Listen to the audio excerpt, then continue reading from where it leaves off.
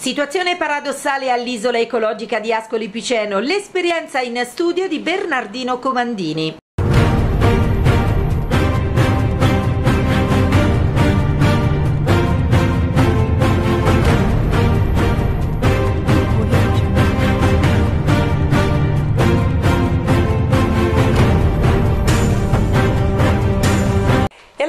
Cordiale saluto, iniziamo oggi il nostro telegiornale con un amico, un collega, Bernardino Comandini. Collega un parolone. Va bene, eh, siamo, siamo, un team, un amico, Bernardino. Beh. Ciao, grazie. Buongiorno, buongiorno. Grazie per essere qui Bernardino. Allora, paradosso.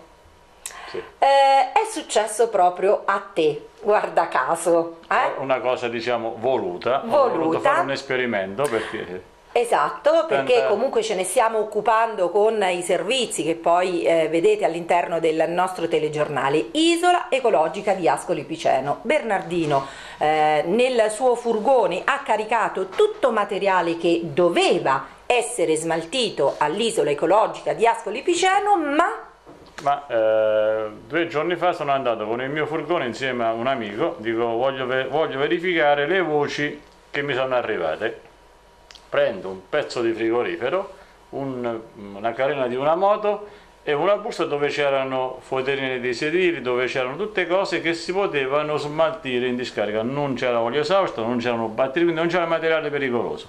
Dico voglio verificare da solo, parto, vado lì e come arrivo c'è una signora già come mi ha visto molto indispettita, non so perché, forse non gli ero simpatico, però molto indispettita, gli ho chiesto devo scaricare del materiale, lei mi dice mi fai vedere cosa c'hai? Io apro il furgone e lei subito mi dice questa cosa non si può scaricare e io chiedo il perché, dico come mai non si può scaricare? Questo è, è un frigorifero, è un pezzo di frigorifero, io per non portargli il frigorifero intero perché era grande, capisco che poteva essere ingombrante, dico me ne porto un pezzo per volta. Ma ha detto no, questo è schiuma espansa, è e vetro resina non si può scaricare, ma il frigorifero è fatta di schiuma espansa di quel materiale lì. Io ho portato uno sportello di un frigorifero. Ecco, oltretutto Bernardino, le immagini che vi stiamo proponendo eh, fanno proprio parte sì. del materiale che sì, tu avevi ripreso, all'interno del furgone che, che avresti dovuto eh, e potuto scaricare all'isola ecologica di Ascoli Piceno. Quindi poi... E invece mi ha detto no, questa cosa non si può scaricare, dici devi portare via tutto. Io eh, beh ok, adesso io dove sta roba? Dove la porto? Ah, non ti posso fare niente, qui non la puoi scaricare. E io ho detto va bene, la porto via. Ora, un qualunque cittadino, sozzone, come dico sempre nei servizi miei che ci sta bene questa prova di sozzone, avrebbe buttata la prima piazzola, perché così fanno. Adesso mi, faccio, mi pongo, come l'altro giorno, il quesito. Allora, tutte le discariche che io e Gino abbiamo trovato lungo l'asse attrezzato, lungo la zona industriale, vuoi che non è dovuto anche al fatto che vengono rifiutati no? queste persone che vanno lì a portare sta roba si sente respinta e viene mandata via perché adesso questo dubbio certo, mi viene perché magari di portare a casa un perché pezzo di un frigorifero, eh, un frigorifero intero se io, so, se io ce l'ho in macchina sto frigorifero caricato e lo vado a scaricare lì e poi mi viene, mi viene detto non lo puoi lasciare eh, io non lo riporto a casa sto certo. frigorifero che devo fare? io me lo porto in giro tutto il giorno con la macchina? no il primo posto che trovo me ne devo liberare perché non ci sono altri posti in Ascoli dove tu puoi andare a portare sto frigorifero, a portare sto materasso. L'isola ecologica è, è preposta Quindi, proprio alla raccolta di questi sì, materiali. Parliamo tanto di pulizia, parliamo tanto di eh, ecologia, parliamo tanto di raccolta differenziata, abbiamo messo davanti casa 25 secchi perché ogni secchio ci va la buccia di banana, una buccia di mela, lo scontrino perché dove abbiamo e poi dopo veniamo lì dove noi andiamo con un furgone, con una macchina, molta gente affitta il furgone perché avendoci la panda non ci può caricare il materasso, affitta il furgone, quindi spende soldi, prende il furgone, poi va lì e C'è anche un rifiutato. servizio preposto dal comune eh, con dei giorni stabiliti sì, dove sì, si... Eh, sì, telefoni e ti vengono a prendere, ma passa un mese può però. prenotare... Non è ah, che ecco. ti, oh, due giorni di tempo, tre giorni ti vengono a prendere il materasso, se io devo smaltire questo materasso, questo frigorifero, e c'ho un appartamento piccolino, non ci entro manco io e devo aspettare un mese che mi porti via questo frigorifero, non è possibile. Diventa no? difficile, non è certo. possibile. Che poi non è un mese, diventa sempre di più perché ti dicono, ma dopo molte volte manco ti rispondono, perché io ho provato anche a telefonare, ma manco ti rispondono, quindi molta gente dice ma io che devo fare? A, a chi mi devo rivolgere? Mi hanno chiamato l'altro giorno dicendo io ho, ho trovato tutti i frigoriferi a casa e un condizionatore ho chiamato 25 volte e nessuno mi risponde. Che devo fare io? E io che gli devo rispondere? Hanno visto i nostri servizi dicendomi che devo ecco, fare? Ecco, allora facciamo così Bernardino, magari attraverso la nostra rete se qualcuno eh, ci vuole rispondere, magari ci vuol dire come bisogna fare per eh, lo smaltimento di questo materiale ingombrante, magari fatecelo sapere, noi eh, ascoltiamo tutti. Volevo ascoltiamo. aggiungere sì. una nota di colore, visto che ci siamo. Eh, io ho visto in questa persona, ho visto in questa area importante di Ascoli, che parliamo di un'isola ecologica, quindi parliamo di un servizio pubblico importante questo, io ho visto in questa persona una sorta di, come chiamarla, di incompetenza. Ecco, questa persona per me è incompetente, il suo ruolo non è quello, secondo me dovrebbe stare dietro una scrivania o fare tutt'altro. Lì ci vuole una persona competente che capisca il materiale che gli viene portato. Certo che se gli portano all'esausto non lo posso lasciare, ci sono dei bidoni appositi, ma se io vado lì con del materiale come avete visto che va destinato alla discarica, questa persona deve capire che quella roba va in discarica e quindi mi fa smaltire. Quindi dico anche al comune, a chi ce l'ha messa in quel posto, che magari bisognerebbe un attimino rivedere, rivedere la situazione. Ecco, allora noi siamo qui, quindi ecco, eh. se, se, qualcuno avesse qualche cosa da dire, da aggiungere sì, no. o da rimproverare, eh, magari, noi, siamo... noi, ascoltiamo tutti. Sì.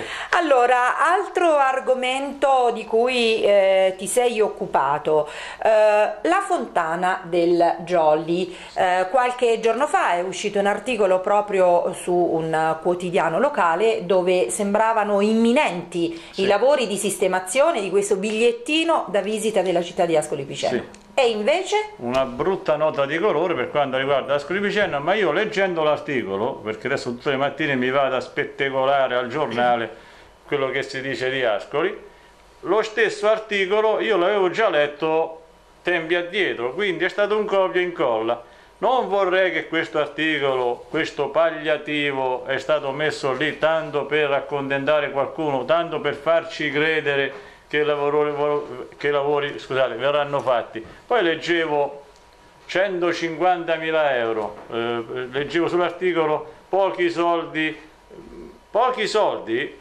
150.000 euro, eh, ragazzi, non sono, non sono pochi, pochi soldi. soldi trasformandoli a milioni, perché io sono abituato a fare così, sono le vecchie 300 milioni. Quindi per sistemare una fontanella di 20 metri per 10 metri, 300 milioni mi sembrano un'enormità di soldi.